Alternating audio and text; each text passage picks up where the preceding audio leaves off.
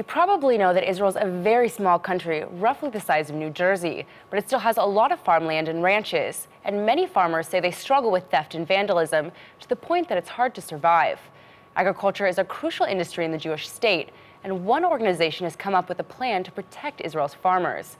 I'm here today with Ram Shmueli, who's a brigadier general in the Israeli Air Force and is also head of the board for Hashomer Chadash. But first, we have a clip to show you to help you understand why Israeli farmers need protection.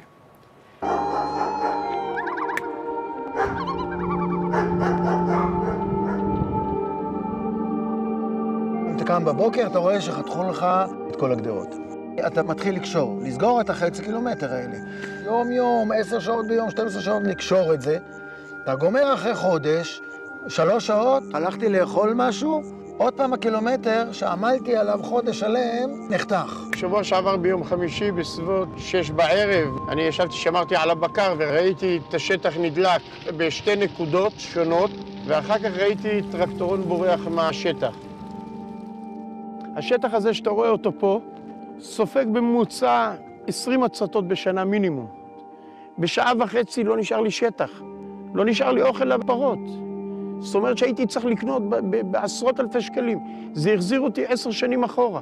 אתה מתיישב על הארץ, אתה אומר, מה אני עכשיו אמור לעשות? מה אני אעשה? כבר הבנתי שלשרוד פה אני לא יכול. הרמתי ידיים.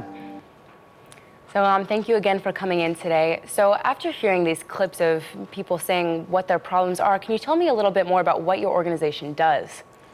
First of all, Denise, I would like to send uh, quickly recovery for all the wounded in the last uh, terrorist attack.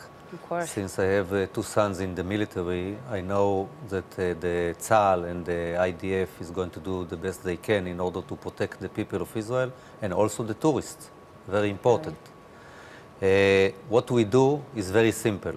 We safeguard the land of Israel through social activities and education. It always go together. You have to know why you are here on one hand and to be in the ground and to help the farmers. And I, as a farmer, I know how much is important not to keep, not to leave those people alone by themselves uh, when people come and try to destroy their growth, their cattle, and the livestock. Absolutely.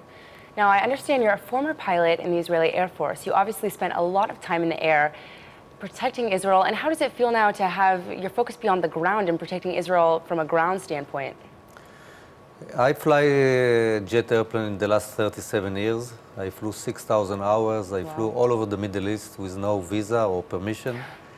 But for me, it's very natural. Since I was born as a farmer, I'm still farmer, active farmer. And to protect the air superiority is important for protecting the state of Israel.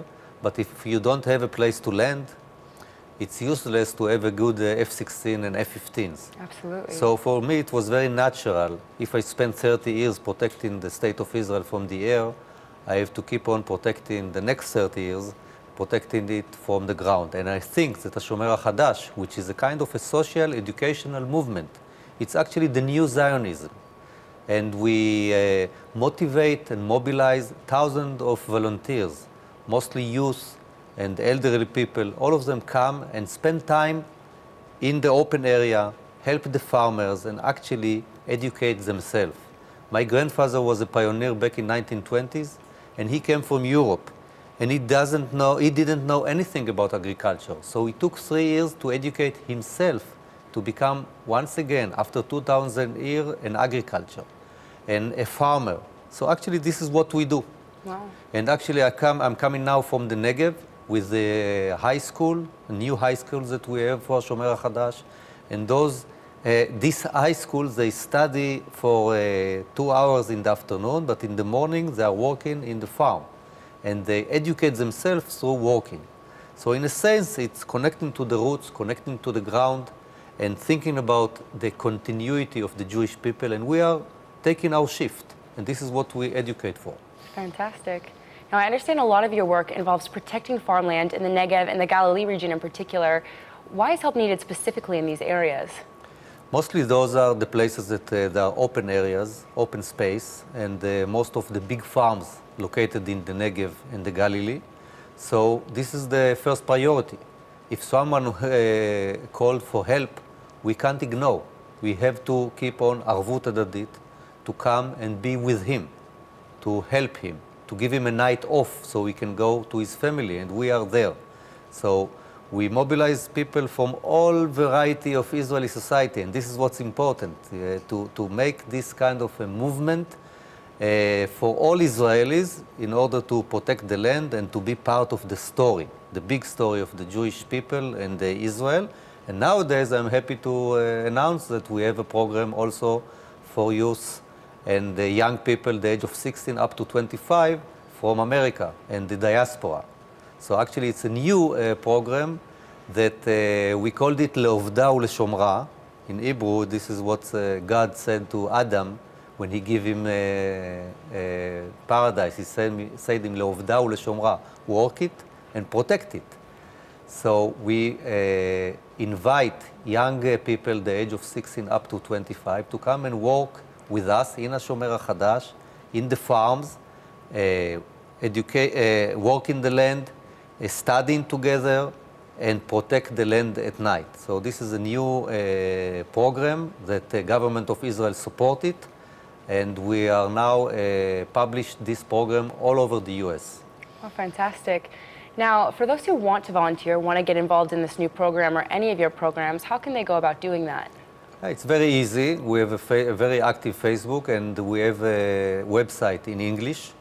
So actually, deep in the website in English, Hashomer HaChadash, the New Guardian, and there you see all these uh, video clips and programs that we run. Uh, either you are young, uh, middle age, or old, we have a program for you to be part. And if, if uh, old people listen to us uh, during this broad, broadcast in America, you remember the old time when we went to a kibbutz in Israel in order to help the Israelis to, do, to cultivate the land? We renew it now. We have a program for you. You can come and help us to be part of Hashomer HaChadash, to be part of this new movement. And I tell you, it's connect directly to what happened this uh, uh, last night, the terror, the terror attacks. We have to be strong.